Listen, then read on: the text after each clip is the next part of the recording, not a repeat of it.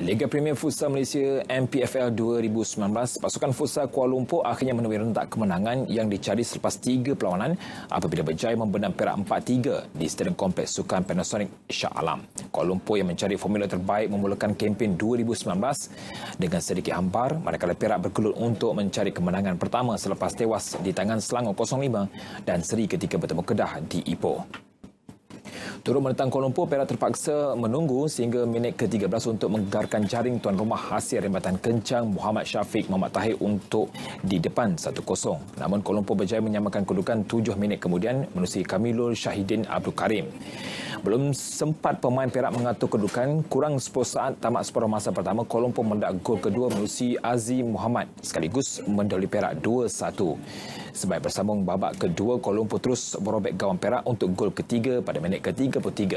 Tersentak dengan itu, Perak yang ketinggalan 3-1 bangun mengasak ke kubu lawan sehingga berjaya menghasilkan dua gol jaringan Warno Hisham Wan Nasri minit ke-35 dan rembatan Muhammad Rizwan Bakri minit ke-39 menjadikan kedudukan tiga sama.